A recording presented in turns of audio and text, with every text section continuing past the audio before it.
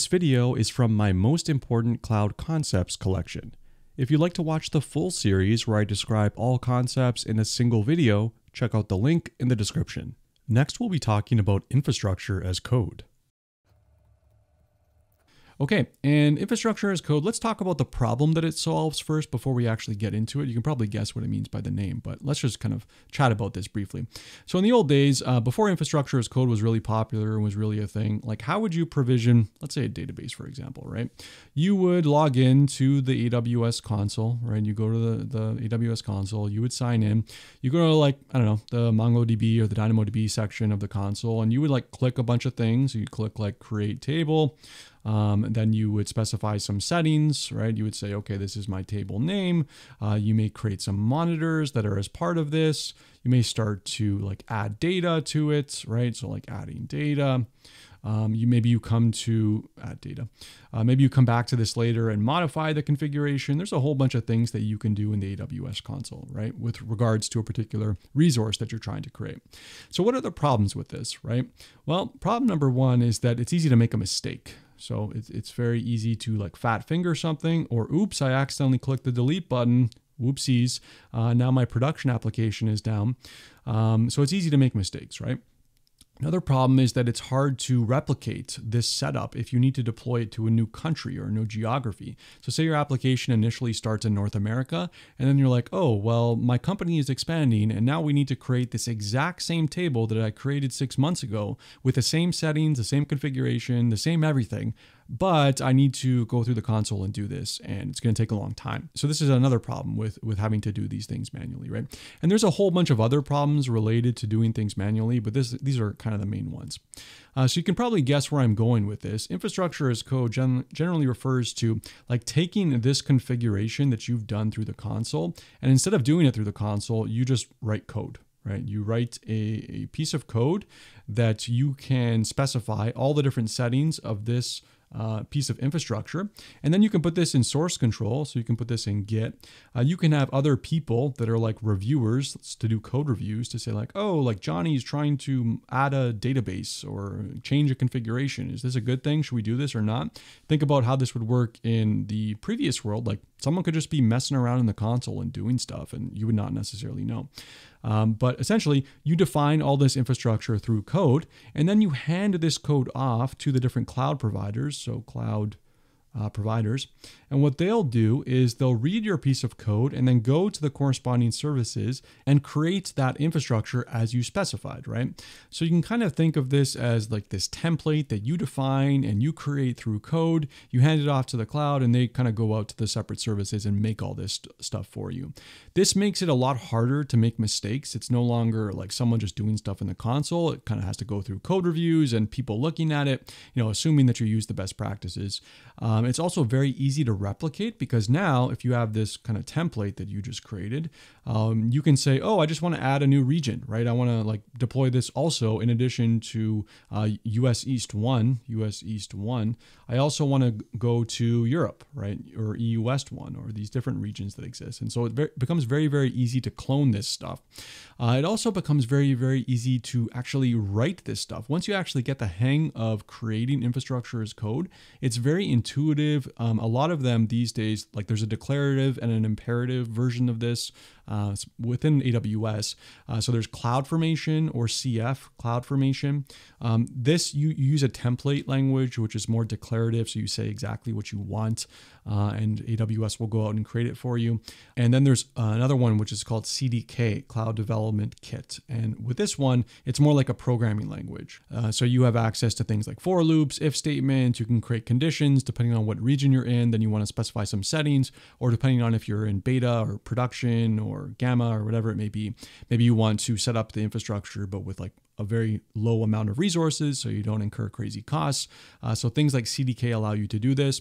There's also uh, third party providers that aren't necessarily tied to a particular company. So things like Terraform um, and Terraform are um, they actually allow you to use different cloud providers using one programming language or using one solution. Uh, so Terraform can hook into Azure, uh, can hook into AWS, it can hook into GCP. Uh, this is why a lot of people like Terraform. Yeah, okay, you guys can still see this. Great. Um, GCP. Um, so this is another popular solution as well. However, if you're using AWS, I recommend CDK or CloudFormation, but CDK is definitely my number one choice.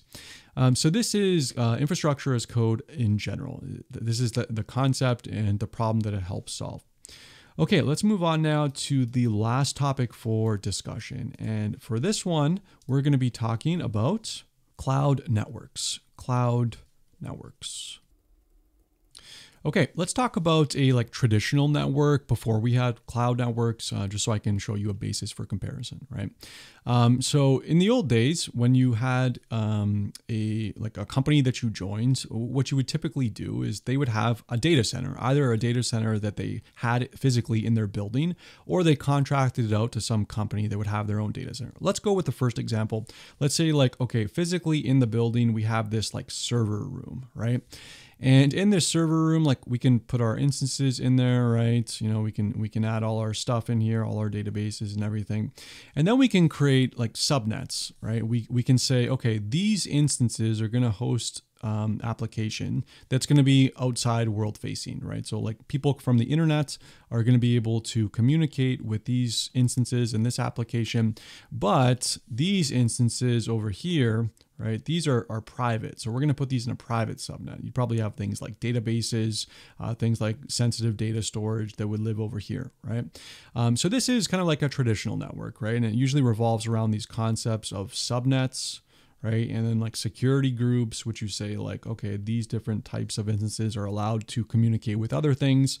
Um, so security groups, you would be able to say like, okay, this instance is allowed to talk to the database, but an incoming request, for example, cannot go from the internet to the database, right? You'd have rules that would specify that that is not allowed. Okay, so this is, is a, a summary of the traditional model. Um, so let's talk about cloud networks and how this deviates, right? So cloud networks don't really have this problem, right? Well, they have this problem, but it's not really your problem in this sense. There's AWS data centers, right, that exist. And as we talked about, like AWS data centers can exist. Like there could be many of them that you potentially integrate with, right? Let's keep it simple and just say that there's one right now. But, um, you know, when you create a, a cloud network, so to speak, this all exists within the context of AWS or GCP or Azure or whatever, right? And essentially, if you consider this like uh, white square to be all of AWS, there's many, many different customers of AWS, right? There could be me, which is like here. It could be you. There could be many different customers, right? And what a cloud network allows you to do is it allows you to isolate yourselves from one another. So maybe this is me, right? This is you. This is Jeff Bezos. that has his own cloud network. This is, I don't know, um, someone else, right? And what uh, a cloud network allows you to do is to isolate yourself. So you can say, okay, I'm going to deploy my resources into my cloud network, right? And you can deploy your resources into your cloud network, also on AWS. But by default, these things are not allowed to talk to each other. So this is not allowed, right? Unless you, you specify, you say the rules. Similarly, these resources that you created are not allowed to receive outbound traffic or inbound traffic, excuse me, from the internet, right? Unless you say so, right? Um, so th- there's rules that you can specify on your resources that you deploy into your cloud network that basically determine what it's allowed to talk to within your cloud network and also outside of it, right? So you can say, okay, um, there's me and you, maybe we're friends or you know we have a, a business relationship together. Um, so we're going to connect our cloud network together and make it so that we can talk to one another, right? But I can still have stuff in my network that you can't see, right? That's private to me. And similarly, you can have something in your network that I can't see that's private to you. Um, so cloud networks allow you to essentially isolate your resources within your cloud provider, uh, and it's an additional layer of security that you can rely on. So that's it for the video. If there's any core concepts for cloud computing you think I missed, I would love to hear what you have to say in the comments section of the video. And if you liked, please don't forget to like and subscribe and share the video with a friend uh, if you enjoyed it. And thanks so much for watching. I'll see you in the next one.